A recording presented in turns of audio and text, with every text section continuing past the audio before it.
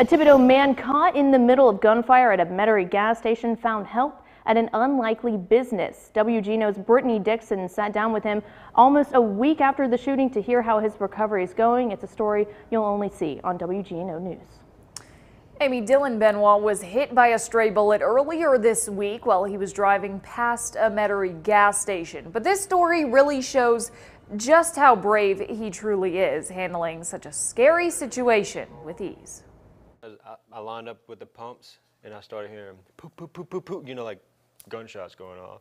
A simple trip to the vet turned Dylan Benoit from parent to patient in a split second. Glory. He was struck by gunfire earlier this week during an argument turned violent at the Circle K on Causeway Boulevard. When I got hit, um, it just it felt like a a baseball bat hit me like in that one little spot. Just grabbed the towel I had in my car and held it to my leg to slow the bleeding. And I figured, you know, I was already close to MedVet, so I would just keep going since they would have gauze to help stop the bleeding. So when most would have crumbled, Benoit mustered up the courage to keep going. I guess it was just a survival thing, you know, like I knew that if I stopped, I probably would bleed out.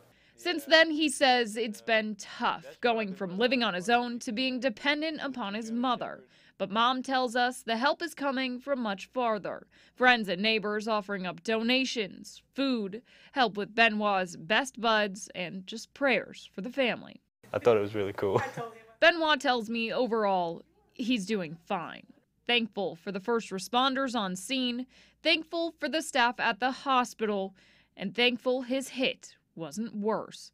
But that moment still plays back in his mind. She was preparing lunch yesterday and I heard, you know, her chopping something, and for a second I was like, is that bullets? You know, like, for a split second. But he's staying positive, just waiting until he can do the things he loves once again. Just glad to be alive, and, you know, my family and friends, they're not mourning me, you know, they're, they're just, they're glad that I'm okay.